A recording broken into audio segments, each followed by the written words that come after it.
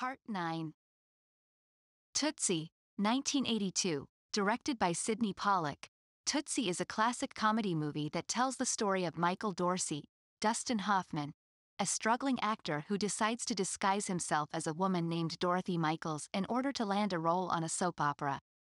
As he becomes more and more successful in his new persona, he begins to fall for his co star Julie Nichols, Jessica Lange, while struggling to keep up the charade.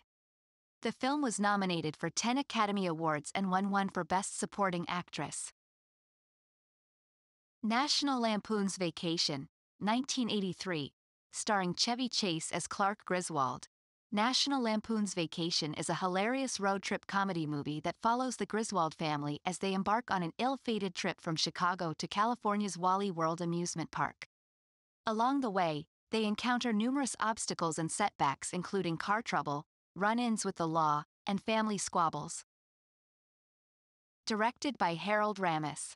Driving Miss Daisy, 1989, directed by Bruce Beresford with exceptional performances from Morgan Freeman and Jessica Tandy.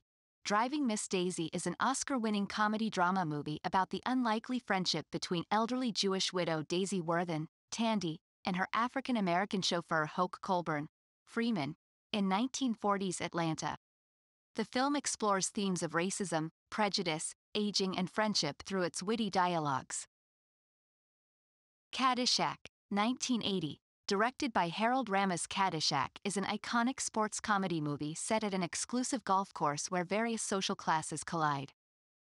It stars Chevy Chase, Rodney Dangerfield, Ted Knight, and Bill Murray.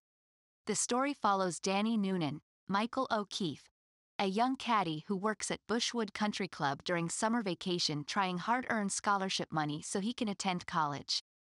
Meanwhile, the club's eccentric owner Al Czervik, Dangerfield, creates chaos around him, and Judge Smails, Knight, struggles maintain order among club members.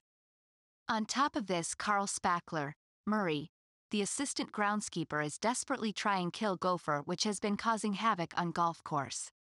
All these events lead up exciting climax during annual golf tournament known as Bushwood Country Club Championship.